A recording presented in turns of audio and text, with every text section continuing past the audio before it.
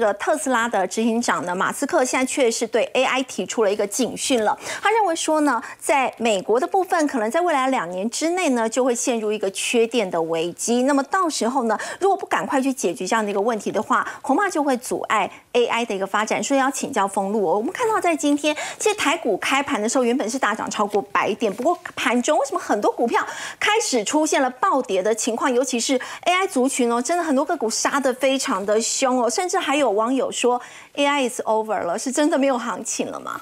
那我想今天会这样子开高走低，最大的关键其实来自于我们看到今年你看到所法说里面，晶圆代工基本上都是什么？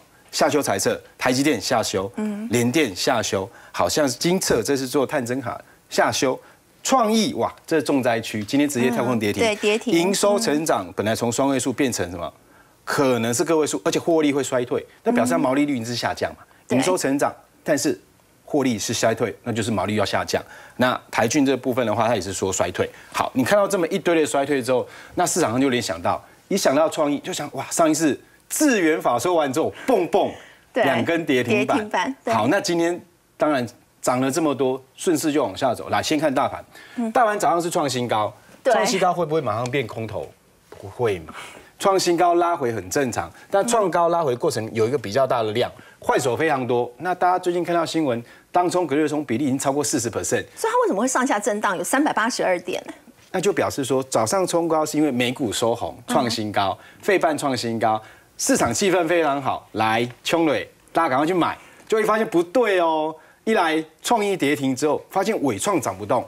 这一波我们跟大家讲的伟创，当时候价格大概在五月中的时候是五十多块嘛，嗯，那我们看到今天最高来到将近一百六十元，对，我就问涨了一百块，涨了两倍，会不会有人要利用？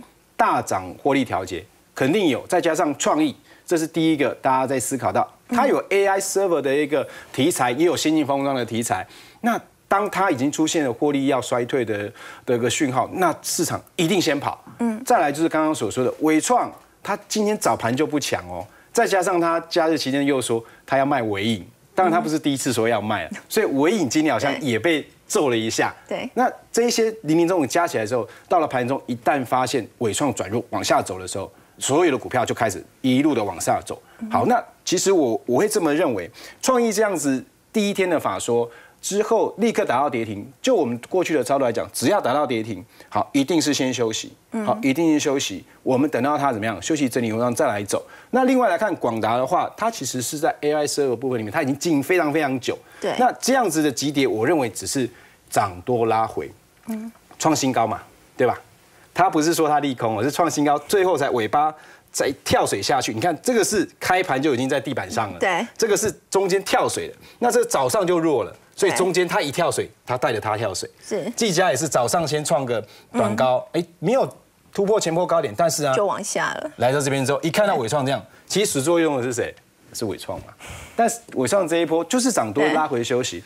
但同样的题材里面，你有没有发现，在今天还是有股票它是相对强的？我们先来看下一张图表。那因为下一张图的话是说，现在在看到了美国，其实在八月他说要限制美国企业对中国科技股的投资，而且扩大 AI 的话，会不会会有新的限制出来？那你又想到哇，如果要控制中国 AI，那就少一个市场啦。是，那你再做一个联想，那今天 AI 回的合不合理？好，那所有的回档都有利空消息。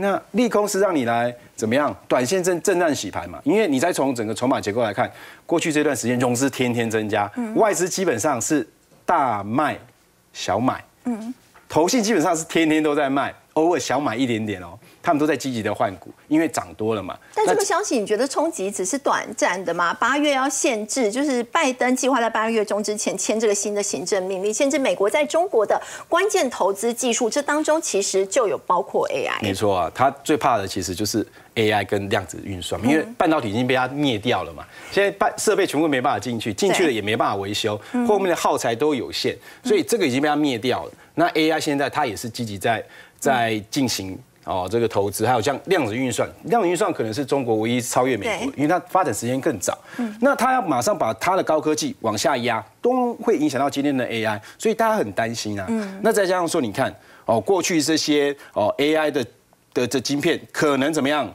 未来就没办法供货，嗯，那是不是又一个就一个想又一个哦利空往下打？可是有利空，同样就会有利多嘛。中国面对到这样的一个状况，我不管过去你要限制我的叉八六，你要限制我的 ARM，哎，他开始用什么？RISC-V，他用这个东西来去做晶片设计，而且已经正式完成全球第一颗全 AI 设计的 CPU 启蒙一号。那就代表说中国有可能往这边继续走，所以今天有被点名的就是联发科旗下转投资的金星科嘛。相对来讲，哦，金星科它这一波段本来就没有受惠嘛，嗯，可是这个今天消息出来说，哎，它在这边好像慢慢有滚出一点点量来。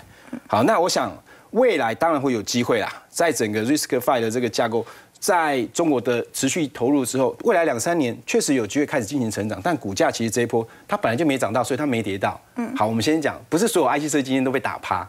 对不对？好，先看庄毅。庄毅今天是因为法说，但它这一波段很吓人吧？嗯，四月份我们当时候认为说它啊，这个今年的 ASIC 的题材应该是已经差不多结束了。今年大概赚三十块，那你给他三十倍的本益比，四十倍的本益比，那大概一千两百块，已经很很满足了。然后后来有拉回，结果 AI 出来之后，把它一路带到两千块，那三百多块到两千块，要不要获利调节？这时候你要再把它拉到三千块，很难，因为今年就三十块。那明年大概就是三十六块，三十二块到三十六块之间，你怎么样的本益比都是过高，所以顺势的拉回来，我觉得是正常。第一个先看它能不能守住季线，季线守不住，那当然就是下一个支撑点就会就是一千二嘛，对不对？好，那这个出生段走一段，如果我们以去年十月份来讲，到今年的七月份，它走了将近。八到九个月的时间好了，它将近十个月的时间，它已经翻了这么大一大段。嗯，那你认为未来如果拉回来休息，有可能再回一千块吗？